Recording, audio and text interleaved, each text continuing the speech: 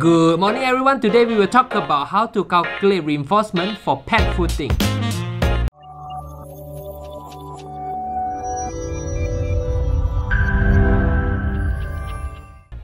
Welcome back for today's episode. We will talk about how to calculate reinforcement for pad footing. Okay, let's look at these drawings. This is a typical sections of pad footings.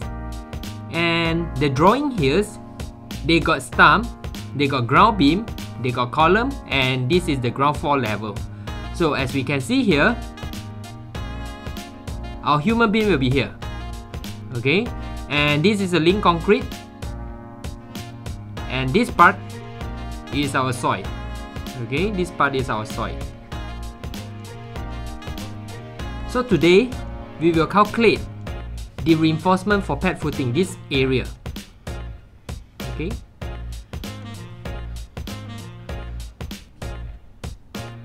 the drawing here shows the plan view and it shows the length it includes the width of the pad footing. Let's look at the reinforcement in stump and pad footing here. Okay, so we got a reinforcement for the pad footing here together with the stump. But today, we will basically focus on the pad footing only, so we took away the stump reinforcements. So this is the information given. Okay, and we got x-axis rebar and y-axis rebar. Okay. For x-axis rebar, we call it as light blue bars and for y-axis rebar, we call it as dark blue bars. Okay. And we got a concrete cover of 40 mm. Okay. Each end of the rebars, we got a concrete cover 40 mm, 40 mm, 40 mm, which are shown in a red color arrow. Okay, so this is the pad footing reinforcement concrete cover. So this is the plan view and the length is 1.25 meter and the width is 1.25 meter. So this will be the length, this will be the width. So let's calculate. So the first thing we have to identify the light blue bars okay the light blue bars okay so length of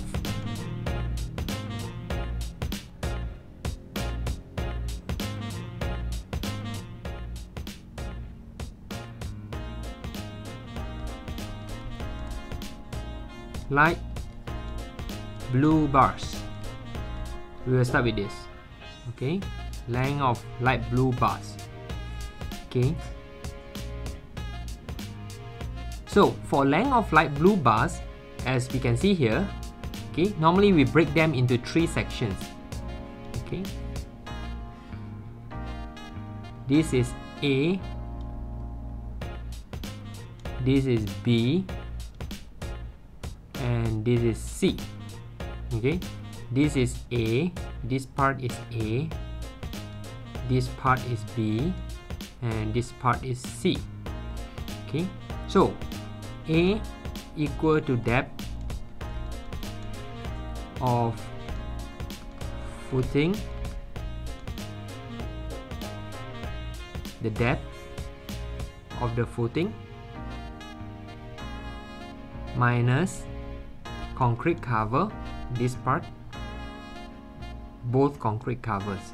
So 2 so the depth of footing is 300 minus 40 mm minus 40 mm okay then we will get a 220 mm okay let's look at b. Okay b. So b is here. The length of b the length of b is from here to here so for B, same thing, length of the footing, okay, length of the footing. Length of the footing is given 1250 minus both concrete cover at the side. Okay, both concrete cover at the side. CC minus. So 1250 length minus 40 concrete cover both sides minus 40 so B is 1120 mm okay for C the length for C this part is actually similar to A. Okay? Length for C is actually similar to A. So C equal to A which is actually 220 mm okay? So total length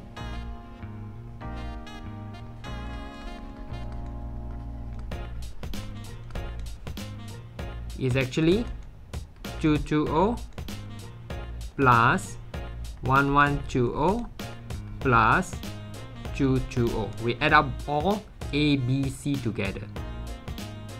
And we will get 1610 mm. Okay. So from here, we can see the number of bar okay for the light blue bars is actually this okay how many numbers we got? 5y okay 5 numbers. So number of bar we got 5 so total length of light blue bars. Okay.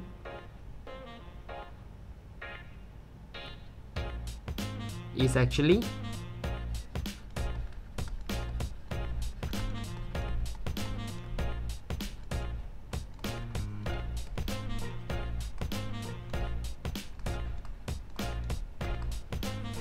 five times one six one oh. This is for one length, one bar's length. So we will get eight oh five oh mm. So this is the total length for light blue bars. Okay. So next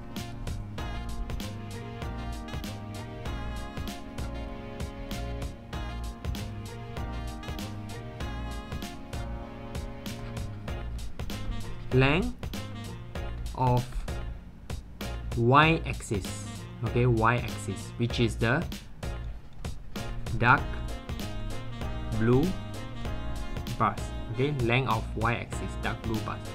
So if you look at this drawing here okay we got 5 y so we got five numbers here. So one, two, three, four, five. So we got five numbers. Okay, five numbers of dark blue bars. One, two, three, four, five. Okay, five of them. Okay, so how we calculate? Same thing this is A. This is B. This is C. Okay? So A is actually depth of footing. Okay the depth of footing. Okay the depth of footing is actually 300 okay 300 here minus concrete cover both side top and bottom. Okay concrete cover 40 mm top and bottom. So the answer is 300 minus 40 minus 40 and we will get 220 for B okay B this part okay this part because we are focusing at dark blue bars. So B, this part, the length is actually the width of the footing. Okay, minus the concrete cover at this part concrete cover at this part okay so minus cc minus cc there are two concrete covers so width of the footing as we can see here the length is actually 1250 okay 1250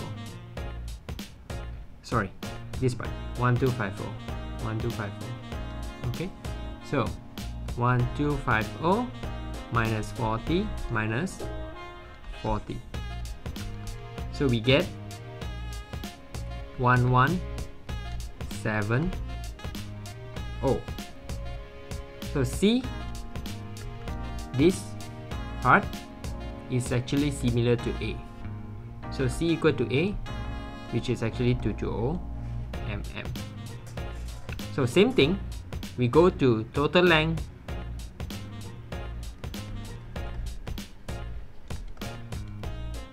For one bar. 220 A plus B 1170 plus C 220 the answer is 1610 okay. So total length for y-axis. Okay. Total length for 5 bar at y-axis. Total length for 5 blue bars is actually 1610 times 5 which is actually 8050 mm also because the di dimensions for x-axis and y-axis are the same. Okay 1254 okay so both rebars at x and y are in y12 okay? Thus we will get the total length of y12 rebar by adding both light blues and dark blues bar together okay? So y12 length is actually length of all light blue bars okay?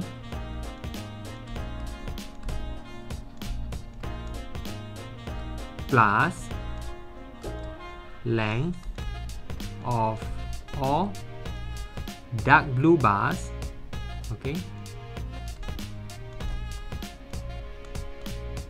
Which is actually light blue 850 dark blue.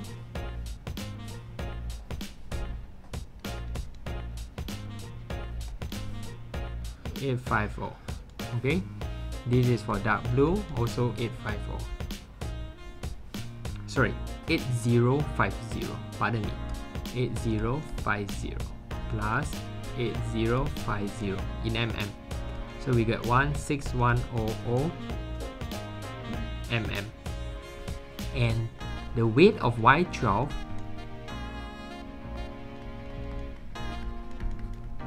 is actually 0.888 kg per meter.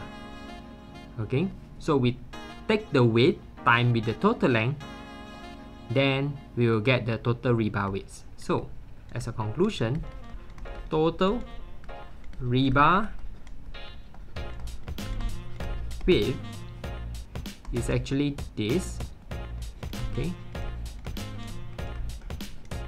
0.88 kg per meter times 16100 mm okay? If you convert to meter you divide by 1000 so you get meter.